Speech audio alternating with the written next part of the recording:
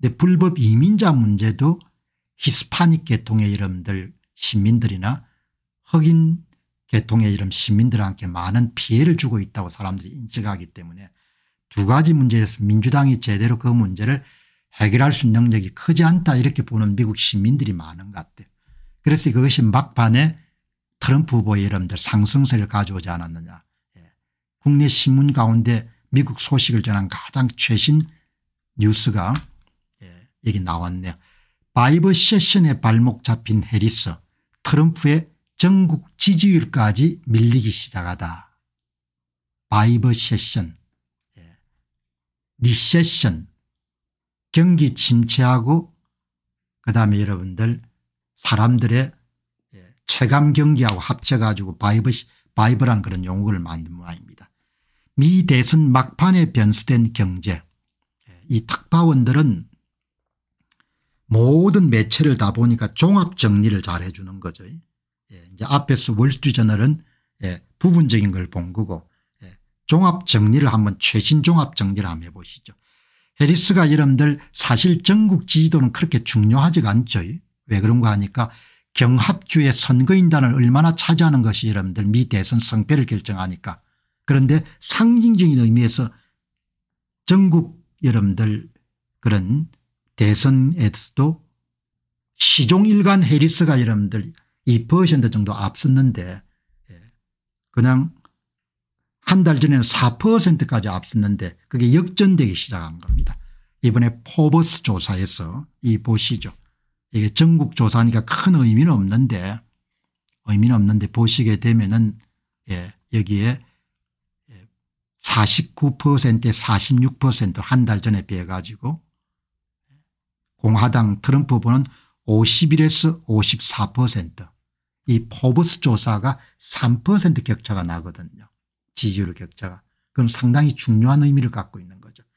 오차 범위를 벗어날락 말락한 거죠. 이 월스트리트 저널도 여러분들 46 49니까 3% 차이 나는 겁니다. 한 달 사이 이만큼 격차를 낸 겁니다. 예. 예. 미국 대선을 열흘 가량 앞둔 시점에서 공화당 후보인 도널드 트럼프 전 대통령 민주당 후보인 해리스 부통령을 전국 지지율에서 근소한 차로 앞서기 시작했는데 이거를 여러분들 송고한 한국경제신문의 특파원은 워싱턴 주재 특파원입니다. 경제 문제가 큰 역할을 하고 있는 것 같다. 바이든 행정부 들어서 급등한 물가에 불만을 느끼는 사람이 많아서 경제 공약이 상대적으로 취약한 해리스 후보가 열세에 몰리고 있다. 예, 사람들 먹고 사는 문제는 바로 피부로 와닿지 않습니까 포버스지가 조사한 바를 따르면 51대 49로 트럼프 우수, 우수 월스트리트 저널이 조사한 거에 따르면 47대 45로 2% 여러분들 트럼프가 우세 예. 그리고 이제 로버트 주니어를 제외한 양자 대결로 들어가면 3% 차이가 49대 46으로 트럼프가 우세한 겁니다. 그 이제 기자분 기사를 쓰신 분이 미국의 매체를 다 여러분들 종합해 가지고 내린 결론 경제 이슈에서 해리스가 많이 밀리는 것 같다. 올 들어 물가 상승세가 둔화되긴 했지만 코로나19 팬데믹 이전보다 이미 15에서 20% 물가가 올라 있기 때문에 유권자들의 살림살이가 팍팍해졌다. 예.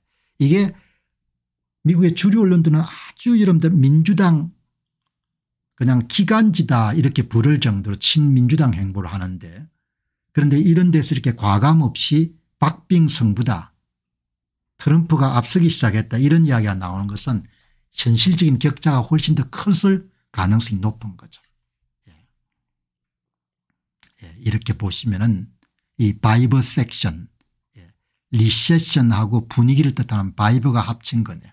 사람들이 체감 경기를 굉장히 예, 안 좋게 생각한다는 겁니다. 예, 그래서 이제 해리스 후보가 상당히 이제 예, 조사에 따르면 등록 유권자의 44%가 경제 문제를 다루는데 트럼프 전 대통령을 더 신뢰한다. 그리고 에린 고든 로스 경영대학원 교수는 해리스 부통령이 이기려면 경제외 문제 성부를 봐야 된다. 경제 문제가 뭐가 있겠습니까 이스라엘 전쟁을 잘 종식시키겠습니까 아니면 남부 국경 문제를 잘 관리하겠습니까 유일하게 여러분들 잘 알 수 있는 것은 낙태 문제인데 그거는 보통 사람들이 크게 관심이 없지 않습니까 먹고 사는 문제 미남부 국경 문제 우크라이나 예, 이스라엘 전쟁에서 여러분들 발을 빼는 거 이런 부분에 관심이 많을 테니까 예, 그렇게 여러분 보시면 좋겠습니다.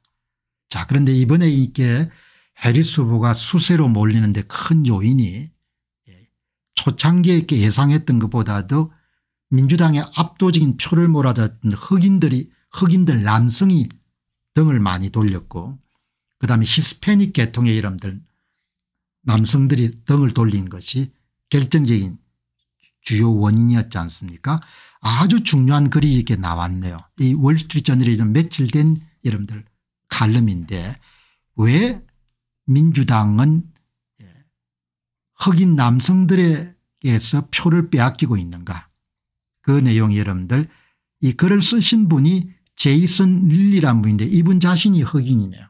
그러니까 다른 칼럼니스트보다 더 잘 이해를 할 겁니다. 예. 이 해리스가 왜 여러분들 표를 빼앗기는가 살림이 어려워졌다는 겁니다. 도널드 트럼프 행정부 때는 훨씬 더 흑인들 삶이 좋았다는 겁니다. 그 기억을 흑인들이 갖고 있는 겁니다. 예. 그래서 이런 압도적인 지지가 무너지기 시작한 겁니다. 예. 그 내용을 예, 한국경제신문이 요약을 잘했네요.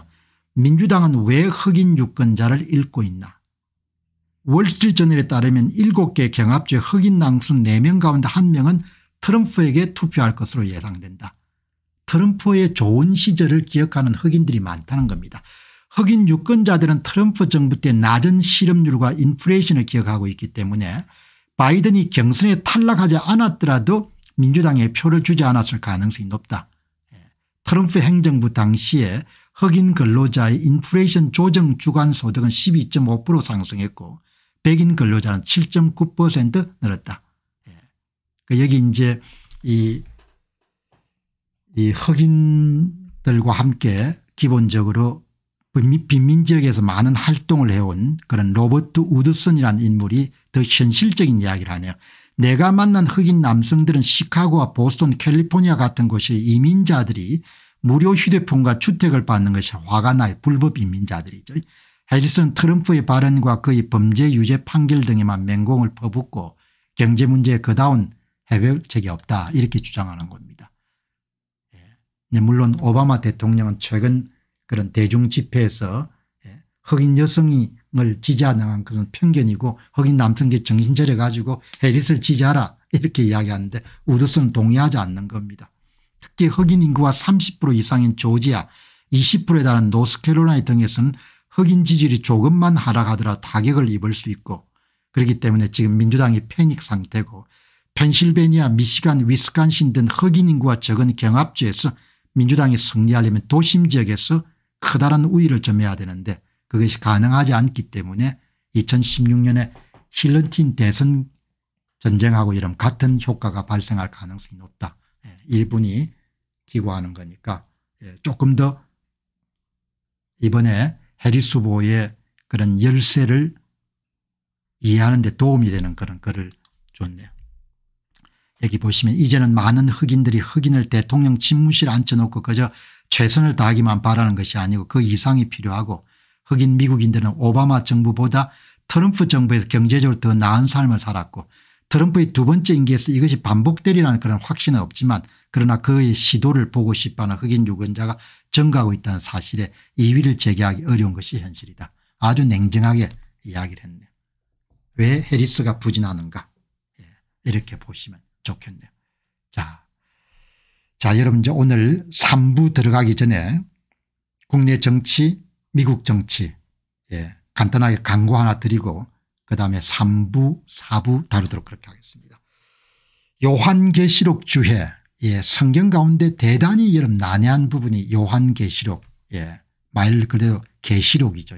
계시하는 겁니다. 예, 킹덤 북스에서 나온 요한계시록 주해 예, 성경 읽는 분들은 한번 관심을 가져보시면 은 성경의 가장 난해한 부분을 돌파할 수 있지 않겠냐 생각이 들고 그다음 이제 제가 썼던 미국 선교사들의 헌신기 한국 헌신기를 기록한 이름 없이 빛도 없이 예, 미국 선교사들이 이 땅에 남긴 것 그다음에 이제 미국의 Wild West의 대표적인 도시인 예, 애리조나 다